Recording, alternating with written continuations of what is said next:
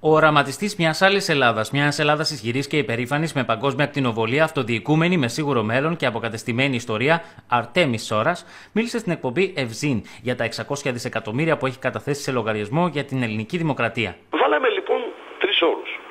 Ο πρώτος όρος είναι να ελέγξουμε τις συμβάσεις με επιτροπές δικές μας, προσέξτε, και με ανώτατους δικαστές του Αρίου Πάγου από μεριά του κράτους. Τι σημαίνει αυτό; Η Τεχνική Επιτροπή δικιά μου θα μπει να ελέγξει το κράτος, αν αυτό είναι το χρέος ή αν δεν είναι. Βέβαια, εμείς έχουμε όλα τα στοιχεία και έχουμε πει ότι ελέγχοντας θα δούμε όχι πάνω από 45 δισεκατομμύρια. Προσέχτε, 45 δισεκατομμύρια με τα ισχύοντα μέτρα και με, τις ισχύοντες, ε, με, τον, με τους ισχύοντες νόμους και συντάγματος. Διότι, διότι σας είπα, υπάρχουν 2.000 ιδρύματα τα οποία δεν κάνουν τίποτα, παράγουν κακό αν το θέλετε, χρηματοδοτούνται από Υπουργεία Πολιτισμού, Εσωτερικών, όλες τις οργα... όλο, το κράτος. Το κράτος δεν χρηματοδοτεί αυτά τα ιδρύματα. Ε, παράδειγμα, το Ίδρυμα Καραμαλή. Τι δηλώνει, τι κάνει, τι παράγει στο κράτος, τι το θέλει το κράτος.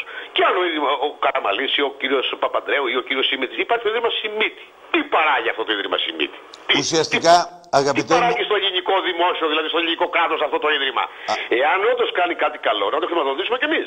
Εάν όμως τρώει χρήματα και δεν παράγει τίποτα, δεν αντιλαμβάνομαι γιατί να υπάρχει αυτό το Ίδρυμα και να το πληρώνει ο φορολογούμενος. Αν ο κύριος Σιμίτης, παράδειγμα λέω, ή αν ο κύριος Καραμαλής και τα με ονόματα, θέλει να έχει ένα Ίδρυμα, πώς έχει το Ίδρυμα ο Νάση, αν και γι' αυτό είναι μια πολύ μεγάλη ιστορία. Είδαμε πολλούς μεγάλους άντρε, οι οποίοι πλούσιοι άντρε, έχουν τα ιδρύματά τους, αλλά με τον νόμο του κράτους αυτά τα ιδρύματα σήμερα, του Νιάρχου αν το θέλετε, ε, του Μοδοσάκη αν το θέλετε, του Ωνάση αν το θέλετε, έχουν καπηλευτεί κάτω από τις οργανώσεις τις ανθεληνικές και αντί αυτά τα λεφτά και τα ιδρύματα που αφήσαν αυτοί οι άνθρωποι για τον ελληνισμό να μην παράγουν καλό, να υποδουλώνουν και να σκλαβώνουν τον ελληνισμό. Είναι με αποδείξεις αυτά που λέμε. Άρα λοιπόν αν ο πολιτικός ήθελε να έχει ένα ιδρύμα, ας το έχει. Δεν μπορεί να, να συντηρεί ο πολίτης του Μακαρίτη του πολιτικού το ίδρυμα και για ποιο λόγο δηλαδή υπάρχει. Α, α, ή τουλάχιστον όσοι αγαπάνε τον Καραμαλή, ας πάνε να δίνουν χρήματα για το ίδρυμά τους.